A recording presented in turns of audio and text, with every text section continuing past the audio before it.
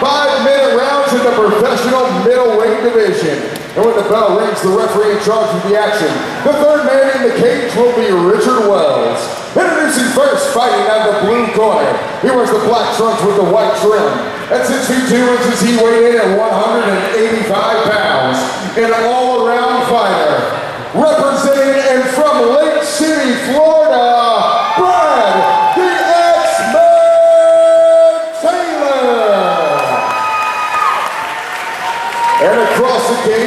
cage, fighting out of the red corner.